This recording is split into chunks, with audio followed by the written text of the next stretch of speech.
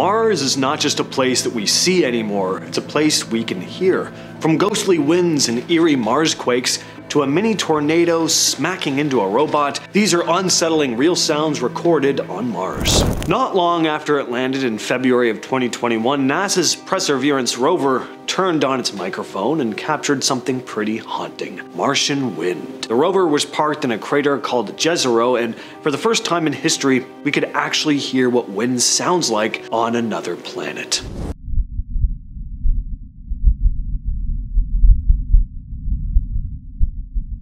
And that's just cool. Having visuals of Mars along with sound now just makes it a lot more immersive.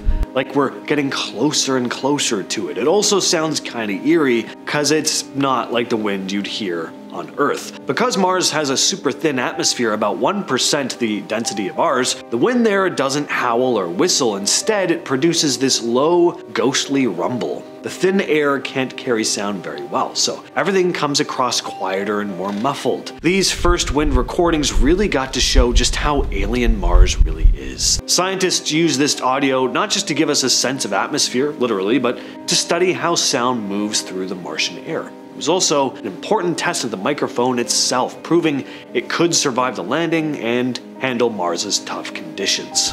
Back in 2019, something happened on Mars that had never been captured before, the sound of a Mars quake. It was picked up by NASA's InSight lander, which was designed specifically to listen for this kind of seismic activity. On April 6, 2019, InSight recorded vibrations from beneath the surface of the red planet. Take a listen, this is some pretty spooky audio. Yeah, yikes. That just sounds haunting, doesn't it? Such a lonely, eerie noise. It's kind of ghostly. And the fact that it's way out in space, so far from the creature comforts of home, it just, I don't know, it adds to it. So Mars isn't like Earth when it comes to seismic activity. There are no tectonic plates shifting around. Instead, these quakes happen when the crust contracts or cracks from the planet cooling over time. The sounds of these Mars quakes were made audible thanks to InSight's highly sensitive seismometer called SEIS, which is short for Seismic Experiment for Interior Structure. The recording contains three types of sounds, the Martian wind blowing across the lander, the actual Mars quake, and some mechanical noise from InSight's robotic arm as it moves to take some pictures. Here's a bit of that audio, because that sounds really weird. Each sound came from different sensors, one set designed to pick up deep, low frequency vibrations, another tuned to higher frequencies. These were originally outside the range of human hearing, so the audio had to be sped up 60 times the normal rate just so we could actually hear it. The quake InSight picked up that day was small, but it was clear, and more importantly, it was the first one scientists could confidently say came from inside Mars. It also helped confirm that Mars is still geologically active, at least a little bit. Since then, InSight has recorded hundreds more, but this one is still the cleanest. On September 27, 2021, Perseverance caught something even more intense, a dust devil passing directly over it. Take a listen to this.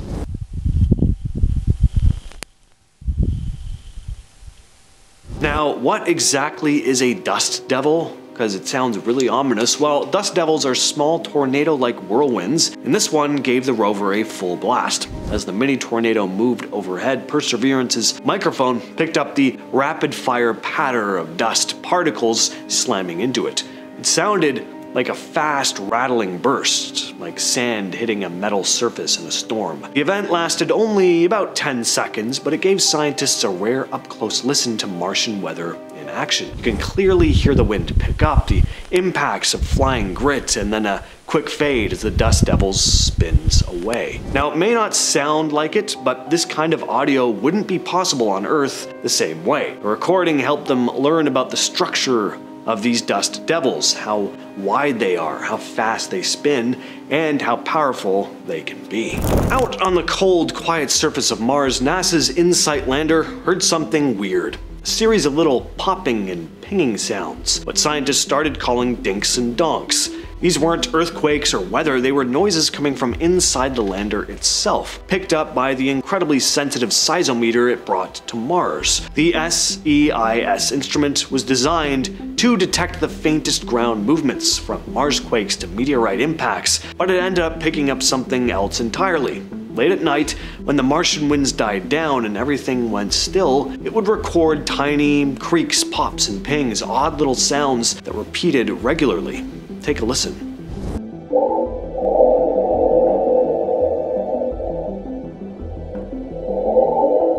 Turns out these noises were being caused by parts inside the seismometer slightly expanding and contracting as the temperature dropped. See, on Mars, the temperature swing from day to night is massive, up to 76 degrees Celsius. So metal parts flex and shift and rub against each other. That friction is what causes those dinks and donks. NASA scientists were surprised at just how clearly they could hear this. Baptiste Chide, a scientist at Los Alamos National Laboratory, said, We had never heard anything like this on Mars before.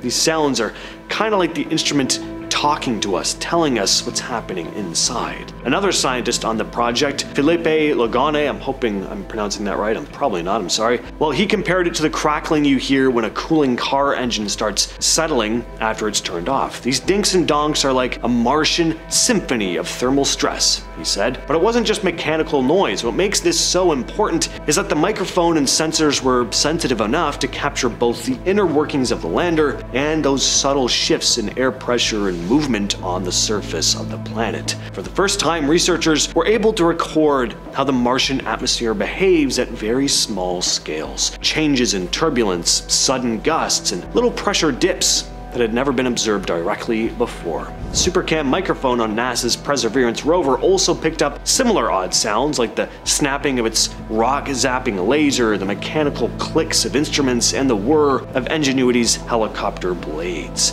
That data was part of a study published in Nature, which helped scientists understand how sound behaves on Mars. As Sylvestre Maurice, lead author of the study, put it, at some point we thought the microphone was broken. It was so quiet. So that's how still and silent Mars can be.